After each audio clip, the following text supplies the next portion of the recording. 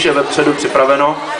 Otázka je, kdo z vás vzadu bude na ty malé umělkyně vidět, když je tady takhle narváno? No, nikdo. Co kdyby jsme si sedli na ty lavičky, holky, kluci? Jo, jo, to je nejlepší. Oni pak nevidí. Tady ještě spousta místa je takhle rozprostřené. Pak ten druhý soubor už zase budou větší a už můžeme být blíž, ale teď by z toho nikdo nic neměl. Děkujem. No, Marcelka už jde.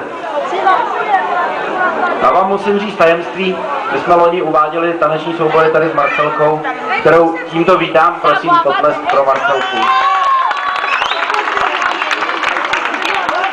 Ona říká, že je trošku indisponovaná, nemusí moc mluvit, ale když jsem jí naštval, říkal jsem, ať se mnou jde to uvádět, tak na mě pěkně začala křičet, takže já myslím, že to bude v pohodě. Ne, já si dělám srandu, ale teď je první soubor, o kterém ona ví víc než já, tak vám řekne, koho teď uvidíte. Takže já vás tady pěkně vítám na našem festivale a chtěla bych vám tady představit taneční soubor Romano Čár.